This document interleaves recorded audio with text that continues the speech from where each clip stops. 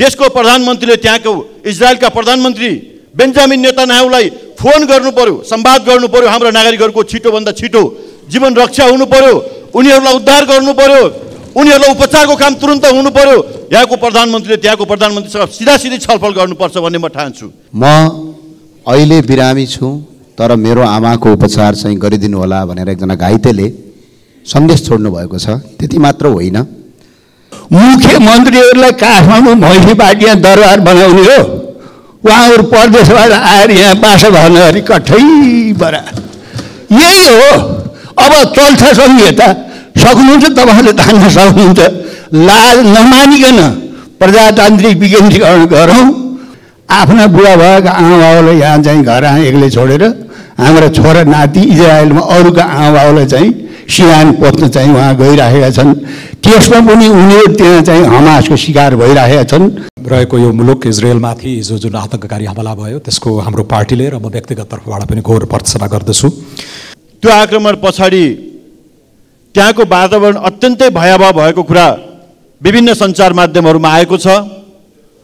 हाम्रा नेपाली दाजुभाइ दिदीबहिनीहरू पनि त्यो घटनामा परेको र केही गम्भीर घाइते भएको केही अहिलेसम्म हराइरहेको र केही अत्यन्तै कष्टपूर्ण स्थितिमा घरभित्र लुकेर बस्नु परेको नर्सिङ होमभित्र लुकेर बस्नु परेको काम गर्ने कारखानाभित्र लुकेर बस्नु परेको र छिटोभन्दा छिटो आफ्नो जीवन रक्षा गरिदिनका लागि अपिल गरेका विभिन्न कुराहरू बाहिर आइरहेका छन्। हामीले सकुशल घर फिर्तीको वातावरण मिलाउन नसक्दा धेरै मान्छेले जीवन गुमाउनु पर्ने र धेरै किसिमको पीडा भोग्नु पर्ने अवस्था छ। हामीले चार्टर गरेर भए पनि प्लेनमा ती ने ती नेपाली दाजुभाइ दिदीबहिनीहरूलाई नेपाल ल्याउनका निम्ति आवश्यक प्रबन्ध मिलाउनु पर्नेछ दिन दहाडै नेपालगञ्जको चोकमा कुनै एउटा नेपाली दाजुभाइलाई चेतन मानन्दरलाई लखेटी लखेटी खुडा प्रहार गरेर दिन दहाडे हत्या हुन्छ। रगत बगेर हत्या हुन्छ। त्यहाँ कोही पनि कसैले पनि गएर समाउन छुन सक्दैनन्। यहाँ प्रधानमन्त्री र अर्थमन्त्रीले संसदमा आएर जवाब दिनुपर्ने हुन्छ। मूल सरकारले यो निर्णय सच्याओस् र यस्ता अपराधीहरूलाई उन्मुक्ति दिने काम सरकारले बन्द गरोस् भन्ने कुरा पनि म यहाँ राख्न चाहन्छु सभामुख महोदय। मान्छे मरिराख्नेलाई केही भएका छैन केही भएका छैन। मान्छे कोमामा छ यहाँको नेपालको अर्थतन्त्र कोमामा छ। यो जात्रा सुन्न र देख्नु नेपाली जनताले परेछ सरकार आफैले गर्छु भनेका कामहरू चाहिँ कति पनि नगरेको म ध्यान आकर्षण गर्न चाहन्छु। हिजो एकजना मान्छेले इजरायलबाट भन्नुभयो म अहिले बिरामी छु तर मेरो आमाको उपचार चाहिँ गरिदिनु होला भनेर एकजना घाइतेले सन्देश छोड्नु भएको छ। त्यति मात्र होइन। आज मात्रै नेपालगञ्जका सुरज विक लगायत सतहत्तरजना मान्छे अहिले साउदी अरबमा बन्धक भएका छन्। हामी चाहिँ रेमिटान्स बाह्र खर्ब आयो। यो संसदका सबै सांसदको तलब पनि त्यो विदेशमा गएका मान्छेले पठाएको तलबबाट हामी खाइरहेका छौँ। तर विदेशमा अल्पत्र परेका मान्छेलाई उद्धारका नाममा सरकारले आजसम्म कोही पनि व्यक्तिहरू एउटा सरकारले नीति बनाएर उद्धार गरेको छैन। सरकारलाई चाहिँ मेरो अनुरोध के छ भने एउटा यस्तो ऱ्यापिड टिम बनाऊ जो नेपाल प्रहरी र श्रम मन्त्रालय परराष्ट्र मन्त्रालय गरेर जो विदेशमा रहेका पचहत्तर हजारभन्दा बढी मान्छे आज पनि अल्पत्र छन् उनीहरूको उद्धार गरियोस् र नेपाली र नेपाली भएको महसुस गराइयोस्। म यही माग गर्न चाहन्छु सभामुख मार्फत। हस् धन्यवाद। इजरायलमा हमास र इजरायली सरकारको बिचमा भएको लडाइँ चाहिँ धेरै पुरानो लडाइँ हो।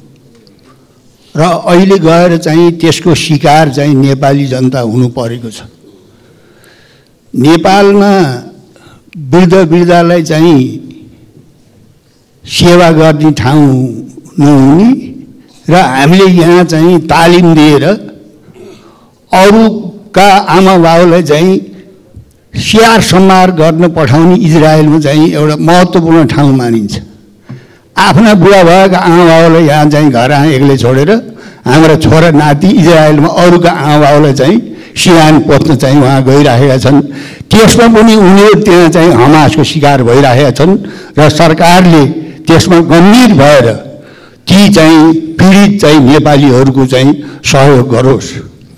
एउटा कुरा अर्को कुरा बजाङ बाजुरा आसपासका जिल्लामा अहिले गएको भूकम्पले त्यहाँका चाहिँ ती जनताहरू असाध्य आतङ्कित छन्।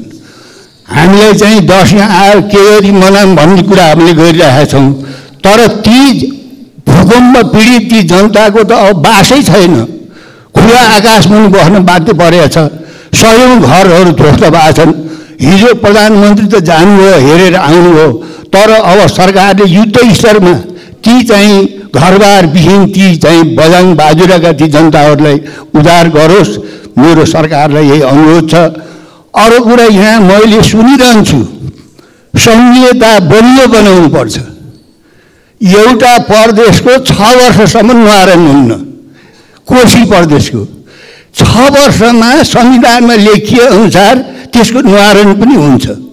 न्वारणमा बाहुनहरूले नाम किटानी गरिसकेपछि त्यो नाम भएन भनेर तपाईँ चाहिँ फेरि त्यहाँ उत्पाद मचिन्छ कतिचोटि त्यहाँ सरकार बने कति भत्किरहेछन् यो जात्रा सुन्न र देख्नु नेपाली जनताले परेछ।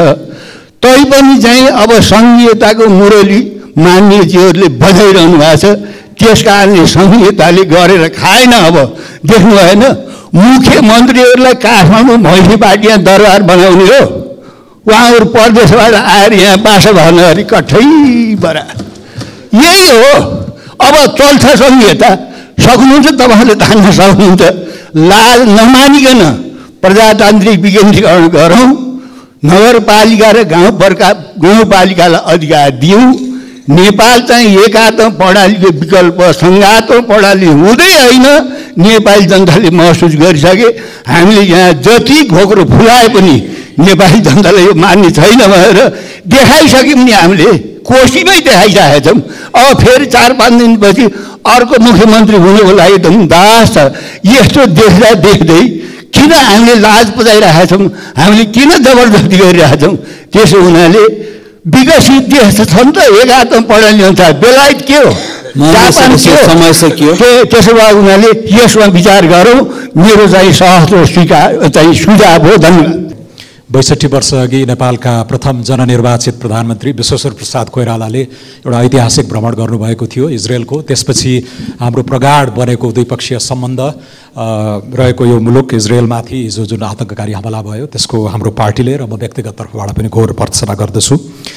विगत केही हप्तादेखि तनहु जिल्ला डेन डेङ्गीले आक्रान्त छ। विगत पन्ध्र दिनदेखि हरेक साँझ मैले त्यहाँका दमौली अस्पतालका मेडिकल सुप्रिन्टेन्डेन्टसँग ब्रिफिङ लिने गरेको छु। औसत सयजनाको परीक्षण हुँदा झन्डै साठी सत्तरी प्रतिशत चाहिँ पोजिटिभ आइराखेको छ।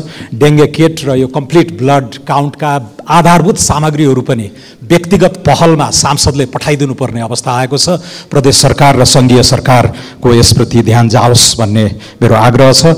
दशकौँदेखि जम्मा पन्ध्र सयको रहेको जुन सरकारी अस्पतालले लोकतान्त्रिक सङ्घर्षका ठुल्ठुला गीत गाइने तनहुलाई गिज्याइरहेको पनि महसुस हुन्छ। त्यस्तै अर्को स्वास्थ्यको प्रसङ्ग नेपाल विकास समाज र जोन्स हपकिन्स युनिभर्सिटी लगायतका केही प्रतिष्ठित संस्थाहरूले चाहिँ एउटा प्रतिवेदन सार्वजनिक गरेका छन्। नेपालको अहिलेको नेसनल किडनी सेन्टरमा डायलिसिस गराइरहेका एक तिहाई बिरामीहरू वैदेशिक रोजगारबाट फर्केका र औसतमा चालिस वर्षभन्दा कम उमेरका रहेको पाइएको छ। यो दर्दनाक अवस्था हो। तीमध्ये सत्तरी प्रतिशतभन्दा बढी व्यक्तिहरूले दैनिक चरम गर्मीका कारण चाहिँ यो यस्तो अवस्था भोग्नु परेको भन्ने प्रारम्भिक हाइपोथेसिस छ। तुरुन्तै गरिनुपर्ने काम विदेश जानु अघि राम्रो अभिमुखीकरण हुने यो डिहाइड्रेसन हिट एक्सपोजरका कुराहरूमा एयरपोर्टमै भए पनि एउटा बुथ राखेर श्रव्य दृश्य सामग्रीहरूको व्यवस्था गर्नुपर्ने देखिन्छ। श्रम मन्त्रालयको यसमा ध्यान जाओस्। सामान्य सभामुख महोदय विगत दुई हप्तामा केही चारवटा आधिकारिक अर्थतन्त्रका बारेमा समीक्षाहरू आएका छन्। अर्थ मन्त्रालयले अर्थ समितिलाई एउटा ब्रिफिङ गरेको छ राष्ट्र ब्याङ्कले पनि एउटा प्रतिवेदन लिएर आएको छ र वित्तीय अन्तर्राष्ट्रिय संस्थाहरू वर्ल्ड ब्याङ्क अन्तर्राष्ट्रिय मुद्रा कोषले पनि केही प्रक्षेपणहरू चाहिँ गरेका छन्। सरकारले छ प्रतिशतको आर्थिक वृद्धि गर्छु भने पनि गत साल दुईभन्दा कम रहेको थियो र यसपालि पनि साढे तिन ननाग्ने भन्ने खालको अवस्था आएको छ। विदेशी विदेशबाट आएको विप्रेषण विदेशबाटै आएका पर्यटक र निजी क्षेत्रले गरिदिएको लगानीका कारण जलविद्युत पर्यटन र रेमिटेन्समा केही सुधार देखिए पनि सरकार आफैले गर्नुपर्ने कामहरूमा चाहिँ धेरै प्रगति भएको छैन। कसिलो आयात र मौद्रिक नीतिले गर्दाखेरि केही शोधनान्तर अवस्था अलिकति सुध्रेको जस्तो देखिए पनि सरकार आफैले गर्छु भनेका कामहरू चाहिँ कति पनि नगरेको म ध्यान आकर्षण गर्न चाहन्छु। यो बजेट फेरि म चार महिनापछि पल्टाएर हेर्दैछु। दफा उन्तिसदेखि बाहन्नसम्मका बुदाहरूमा धेरै कुराहरू असारसम्म गरिनेछ भनिएको थियो। केही कुराहरू चाहिँ साउनसम्म गर्छु भनिएको थियो। असोजका यो विभिन्न म्यादहरू कुनै पनि पुरा भएका छैनन्। हामीले अर्थमन्त्रीलाई शङ्काको लाभ दिएकै हो जेठ पन्ध्रमा तर त्यो स्पिरिट अनुसार काम भएको छैन। फगत बाहन्न नम्बरको बुदामा एउटै मात्र मैले उदाहरण दिन चाहेँ। सरकारी निकायमा रहेका पुराना र प्रयोगविहीन सवारी साधन लगायतका सामानहरू छ महिनाभित्र लिलाम गरिनेछ। चार महिना गइसकेका छ। बाँकी दुई महिनामा यो सारा चाहिँ सङ्कट यहाँहरूले पुरा गर्नुहुन्छ जस्तो मलाई लागेको छैन। यस्तो सरकारी नैराश्यका बिच पनि राष्ट्र बैङ्कले भने आफ्ना केही कसिला नीतिहरूलाई खुकुलो गरेको छ त्यसको म स्वागत गर्न चाहन्छु। कर्जा को रिसेड्युलिङ गर्ने कामहरू घर जग्गाको धितोमा लोन टु भ्याल्यु रेसियोहरू बढाउने कुराहरू कर्जा नोक्सानी व्यवस्थामा जोखिम भारहरू कम गर्ने कुराहरू सेयर कर्जालाई बाह्रदेखि पन्ध्र करोड पुर्याउने कुराहरूले केही राहत मिलेको छ। तर सबै आर्थिक दुरावस्थाको लागि खालि केन्द्रीय बैङ्कलाई मात्रै जिम्मेवार ठहराउने टेक्नोक्राटहरूलाई जवाफदाही बनाउने खोज्ने चाहिँ परिपाटीबाट हामीले छुटकारा पाउनै पर्छ। यहाँ प्रधानमन्त्री र अर्थमन्त्रीले संसदमा आएर जवाफ दिनुपर्ने हुन्छ। मूल अर्थतन्त्रको लय समात्ने काम अर्थतन्त्रको दिशा तय गर्ने काम जननिर्वाचित नेताहरूबाट नै हुनुपर्दछ। यसरी जिम्मेवारी पन्छाउने कामको म आलोचना गर्न चाहन्छु। हस् धन्यवाद। इजरायलमा कामको सिलसिलामा रोजगारीको सिलसिलामा हजारौँ नेपाली दाजुभाइ दिदीबहिनीहरू इजरायलमा हुनुहुन्छ। सयौँको सङ्ख्यामा अध्ययन गर्नका लागि नेपाली दाजुभाइ दिदीबहिनीहरू त्यहाँ जानुभएको छ। हिजो मात्रै दक्षिण इजरायलमा हमासको जुन आक्रमण भयो त्यो आक्रमण पछाडि त्यहाँको वातावरण अत्यन्तै भयावह भएको कुरा विभिन्न सञ्चार माध्यमहरूमा आएको छ। र त्यसमा हाम्रा नेपाली दाजुभाइ दिदीबहिनीहरू पनि त्यो घटनामा परेको र केही गम्भीर घाइते भएको केही अहिलेसम्म हराइरहेको र केही अत्यन्तै कष्टपूर्ण स्थितिमा घरभित्र लुकेर बस्नु परेको नर्सिङ होमभित्र लुकेर बस्नु परेको काम गर्ने कारखानाभित्र लुकेर बस्नु परेको र छिटोभन्दा छिटो आफ्नो जीवन रक्षा गरिदिनका लागि अपिल गरेका विभिन्न कुराहरू बाहिर आइरहेका छन्। यति बेला म सरकारलाई म आग्रह गर्न चाहन्छु नेपाली दाजुभाइ दिदीबहिनीहरू आज विदेशमा विभिन्न काम र उद्देश्यले त्यहाँ हुनुहुन्छ। आज त्यहाँ यति ठुलो विपत्ति आइरहेको आइरहेको अवस्था छ कि वास्तवमा भन्ने हो भने एक मिनट पनि उद्धारका निम्ति र उहाँहरूको जीवन रक्षाका निम्ति हामीले ढिलाइ गर्न सक्ने अवस्था छैन। यो देशमा सरकार छ मुलुकमा राज्य छ ती नागरिकहरूको अभिभावक यो राज्य हो सरकार हो भने यसमा सरकारले अत्यन्तै प्रभावकारी ढङ्गले आफ्नो कदमहरूलाई उठाउनुपर्छ अगाडि बढाउनुपर्छ भन्ने म ठान्छु। सरकारले एउटा विज्ञप्ति जारी गरेर मात्रै पुग्दैन सभामुख महोदय सरकारले मन्त्रीले आएर सदनलाई त्यहाँको घटनाको विवरण दिएर मात्रै पनि पुग्दैन सभामुख महोदय देशको प्रधानमन्त्रीले त्यहाँको इजरायलका प्रधानमन्त्री बेन्जामिन नेतानाहुलाई फोन गर्नु पर्यो संवाद गर्नु पर्यो हाम्रा नागरिकहरूको छिटोभन्दा छिटो जीवन रक्षा हुनु पर्यो उनीहरूलाई उद्धार गर्नु पर्यो उनीहरूलाई उपचारको काम तुरन्त हुनु पर्यो यहाँको प्रधानमन्त्रीले त्यहाँको प्रधानमन्त्रीसँग सिधासिधी छलफल गर्नुपर्छ भन्ने म ठान्छु। त्यति मात्रै होइन सभामुख महोदय अहिले युएनको महासभाका बैठकहरू चलिरहेका छन्। यति बेला हाम्रो प्रतिनिधिहरूले ती बैठकहरूमा त्यहाँ नेपालीहरूले भोगेको पीडाको बारेमा सघन ढङ्गले विषयहरू उठाउनु पर्यो युएनको ध्यान आकर्षण गराउनु पर्यो र हाम्रा नेपाली दाजुभाइ दिदीबहिनीहरूको जीवन रक्षा गर्ने काममा लाग्नुपर्ने बेला आएको छ। त्यस कारणले गर्दा म सिङ्गो यो सदनको ध्यान आकर्षण गर्न चाहन्छु। सभामुख महोदय मार्फत म सरकारको गम्भीरताका साथ म ध्यान आकर्षण गर्न चाहन्छु सभामुख महोदय। र अहिले यति बेला हामीले आज विदेशमा रहेका नेपाली दाजुभाइ दिदीबहिनीहरू देशभित्र अवसरहरू नपाएर यो देशबाट जसरी विदेशमा कामको रूपमा काम गर्नका लागि जानु परेको छ। गएका दाजुभाइ दिदीबहिनीले अक्कल पनि यस्ता धेरै पीडाहरू भोग्नु परेको छ। समयमा हामीले उद्धार गर्न नसक्दा समयमा उपचार दिन नस नगर्न नसक्दा र उहाँहरूलाई हामीले सकुशल घर फिर्तीको वातावरण मिलाउन नसक्दा धेरै मान्छेले जीवन गुमाउनु पर्ने र धेरै किसिमको पीडा भोग्नु पर्ने अवस्था छ। यस स्थितिमा म के आह्वान गर्न चाहन्छु भने यदि कोही घर फिर्ती हुन चाहनुहुन्छ भनेदेखि छिमेकी मित्र राष्ट्रहरूसँग पनि समन्वय गरेर हामीले चार्टर गरेर भए पनि प्लेनमा ती ने ती नेपाली दाजुभाइ दिदीबहिनीहरूलाई नेपाल ल्याउनका निम्ति आवश्यक प्रबन्ध मिलाउनु पर्नेछ त्यसका लागि म सरकारलाई गम्भीरताका साथ म ध्यान आकर्षण पनि म गराउन चाहन्छु महोदय। र अर्को विषय अहिले एउटा अत्यन्त दुःखदायी घटना भयो। यो मुलुकमा संविधान दिवसको दिन यो राष्ट्रको लागि जनताका निम्ति केही नयाँ घोषणा होला भनेर जनताले अपेक्षा गरेको हुन्छ।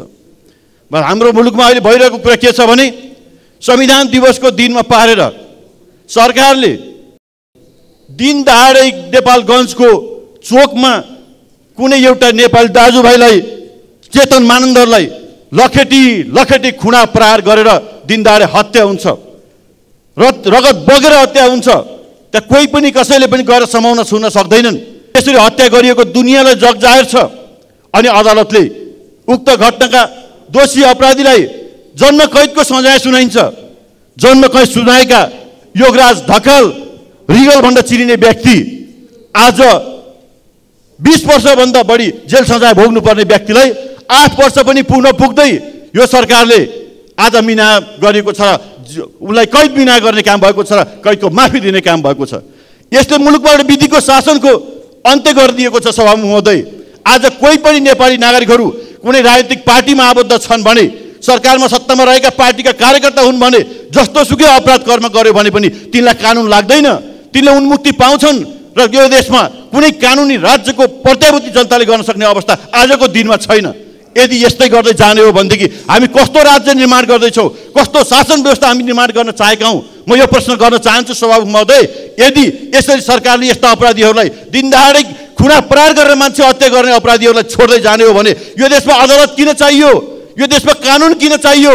सबै कुरा क्याबिनेटले गर्दै जाने हो भनेदेखि अब नेपाली नागरिक कसरी सुरक्षित भएर देशभित्र बस्न सक्ने हो? यस्तो ढङ्गको यस्ता प्रकारका निर्णयहरू यो अत्यन्तै निन्दनीय कार्य भएको छ। यस्तो निर्णय गर्नका निम्ति निर्णय गरेर सिफारिस गर्ने क्याबिनेट त्यत्तिकै जिम्मेवार छ त्यो त्यतिले मात्रै पुग्दैन। एउटा देशको राष्ट्रको अभिभावकको रूपमा रहनुभएको सम्मानीय राष्ट्रपतिज्यूले यस्ता निर्णयहरूलाई यस्ता सिफारिसहरूलाई उहाँले हेर्नुपर्छ कि पर्दैन। अनि त्यस्ता विषयहरूलाई सरासर सदर गर्दै अपराधीहरू छोड्दै जाने हो भने हामी कहाँ पुग्छौँ सभामुख महोदय? यो विषय अत्यन्तै गम्भीर विषय छ। त्यस कारणले सरकारले यो निर्णय सच्याओस् र यस्ता अपराधीहरूलाई उन्मुक्ति दिने काम सरकारले बन्द गरोस् भन्ने कुरा पनि म यहाँ राख्न चाहन्छु सभामुख महोदय। र यही कुरा म यहाँहरूको बिचमा राख्दै अहिले दसैँको हामी सम्मुखमा छौँ। जतासुकै कालो बजारी छ महँगी त्यस्तै छ मिसावट त्यस्तै छ यातायातमा अत्यन्तै ठुलो असुविधा जनताले भोग्नुपर्ने अवस्था छ। सडकहरूका खाल्डा खुल्टीहरू त्यस्तै छन् पुरिएका अवस्था छैनन्। विकास निर्माणको काम ठप्प भएको छ। जुनसुकै क्षेत्रमा हेर्ने हो भने अस्त व्यस्त छ। अर्थतन्त्र धराशायी भएको छ। जनताले दसैँमा एउटा बाख्राको खसी एउटा किनेर अलिकति एक दुई किलो मासु किनेर खान सक्ने अवस्था छैन। महँगीले आकाश छोएको छ चुलो बाल्न सक्ने अवस्था गरिबले चुलो बाल्न सक्ने अवस्था छैन। यस्ता विकराल स्थितिहरूलाई सम्बोधन गर्नेतर्फ सरकारको ध्यान पुगेको छैन। यसतर्फ सरकारले गम्भीरताका साथ ध्यान दियोस् भन्ने कुरा पनि म माग गर्न चाहन्छु। हस् धन्यवाद। भर्खरै हामीले परराष्ट्र सामान्य परराष्ट्र मन्त्रीज्यूबाट इजरायलमा भएको आक्रमणको कुरा जानकारीमा आयो र त्यहाँ नेपालीहरू फँसेको छन् हजारौँको सङ्ख्यामा। तिनको उद्धार गर्नको लागि हामी अहिलेबाट व्यवस्था मिलाउनु पर्छ नत्र भने अन्तिम समयमा गाह्रो पर्न सक्ने स्थिति छ। त्यहाँ सङ्घर्ष निकै लामो चल्ला जस्तो परिस्थिति छ। त्योसित जोडेर मैले के भन्न चाहन्छु भने इजरायलमा हुने सङ्कटले नेपालमा पनि सङ्कट निप्टाउन सक्ने ल्याउन सक्ने सम्भावनाहरू देखि पराइरहेको छ। दुईटा समुदायको बिचमा भनाभनी र इजरायलको कुरालाई लिएर नेपालका दुईटा धार्मिक समुदायको बिचमा टिका टिप्पणी सञ्जालमा भइसकेको छ सम- सामाजिक सञ्जालमा। यस कारणले हामीले संवेदनशील जिल्लाहरूमा त्यहाँ जिल्ला प्रशासनलाई जस्तो अरू देशहरूमा पनि हुन्छ यो सामाजिक सञ्जाल टिकटक लगायत रिल लगायत अरू यो माध्यमहरूलाई जिल्ला प्रशासनले चाहेमा उपयुक्त ठानेमा केही दिनको लागि समस्या समाधान र रोक्नको लागि निषेध गर्ने पनि हामीले व्यवस्था र अधिकार मिलाउन राम्रो होला। नत्र अर्का देशको लडाइँ हाम्रो देशको समस्या हाम्रो देशमा समस्या आउन सक्ने सम्भावनाहरू देखा परिरहेको छ। र यो सामाजिक सञ्जाललाई तुरुन्तै नियमन गर्नु पर्यो। र अघि अस्ति नै पनि मैले भनेको छु ठाउँको ठाउँ कारवाही गर्ने व्यवस्था मिलाउनु पर्यो। सभामुख महोदय अर्को कुरा राष्ट्रपतिज्यूले जुन कानुनी राज्यको धज्जी उडाउनु भयो आम माफी दिएर यो बडा दुःखद कुरा हो। यही कारणले हामीले पटक पटक भन्दै आएछौँ यो सदनमा कि हामीलाई सबैको साझा एउटा राजा चाहिएको छ। राष्ट्रपति राष्ट्रपति मन्त्री परिषदको निर्णय मान्नुपर्ने मन्त्री परिषदले पार्टीको निर्णय मान्नुपर्ने पार्टीले गुन्डा र हत्यारा पाल्ने र ती हत्यारा गुन्डाहरूलाई जब सजाय हुन्छ न्यायालयहरूबाट अनि राष्ट्रपति मार्फत फेरि उन्मुक्ति पाउने व्यवस्था हाम्रो संविधानले बनाएको छ। यो संविधानलाई यो संविधानमा भएका यस्ता अप्ठ्यारा र कानुनी राज्यको विरुद्धमा भएका बुदाहरूलाई परिवर्तन गर्ने यो सदनबाट म विनम्र अनुरोध गर्न चाहन्छु। अन्तिममा यो शिक्षा विधेयकले निजी स्रोतले भइरहेको चलिरहेको शिक्षक संस्थानहरू राज्यबाट एक रुपियाँ राज्यको ढुकुटीबाट एक रुपियाँ पनि अनुदान नलिएर देशैभरि उच्च स्तरीय शिक्षा प्रदान गरिरहेको बेलामा यो राज्यले किन यिनलाई निरुत्साहित गर्न खोज्या हो? के खोजेको हो? एउटा राम्रो एउटा राम्रो कुरा एउटा व्यवसाय लिनुहोस् या एउटा शिक्षा प्रणाली राष्ट्रमा चलिरहेको बेलामा यो शिक्षा विधेयकले यी सबै संस्थाहरूलाई यत्रो लगानी करोडौँ रुपियाँको लगानी भएको संस्थाहरूलाई पनि कानुनको दायरामा गुठीमा ल्याएर निरुत्साहित गर्न खोजेको किन हो यो? यसको जवाब यो हाउसमा शिक्षा मन्त्रीले दिनै पर्ला। मैले यति भन्दै यहाँहरूलाई सभामुख महोदयलाई धन्यवाद भन्दै आफ्नो कुरा यहीँ अन्त आज एउटा राष्ट्रिय दैनिकमा फुल पेज अर्थमन्त्रीजीको इन्टरभ्यू आएछ त्यो इन्टरभ्यू सबै नेपालीको ध्यान खिचेको हुनुपर्छ। उहाँले के दोष दिइराख्नु भएको छ कि अर्थतन्त्र खराब हो त्यसको भाष्य निर्माण गर्न खोजिराखेको छ। कि साँच्चै यही यथार्थ हो? म त्यसको एउटा आइना नेपाली अर्थतन्त्रको देखाउन चाहन्छु।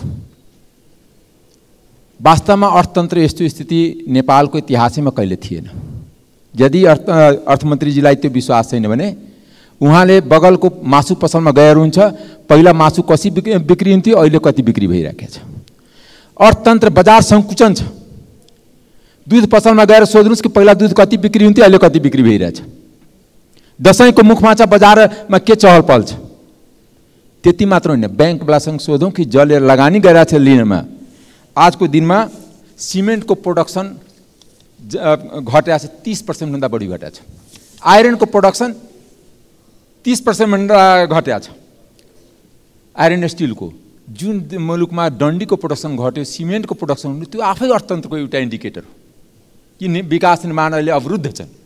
व्यक्तिले आफ्नो निजी घर पनि बनाइरहेको छैन सार्वजनिक विकास निर्माण पनि अवरुद्ध छन्। यति पनि ज्ञान नहुने अर्थमन्त्रीजी अर्थ मन्त्रालय चलाएर बस्नुहुन्छ भने सामान्य लेमनले बुझ्ने हो कि आज एउटा बाटोमा तरकारी बेच्ने फल बेच्नेसँग सोद्धाखेरि ऊ भन्छ कि अर्थ एकदम खराब स्थिति छ बजारको। पैसा उठिरहेको छैन। तर अर्थमन्त्रीजी भन्नुहुन्छ कि होइन यो त सबैले भाषा निर्माण गर्छ। उहाँले पजेरोमा चढेर एसीमा बसेर अर्थतन्त्र उकास्न भन्दै हुनुहुन्छ। कुन इन्डिकेटर पोजिटिभ छ?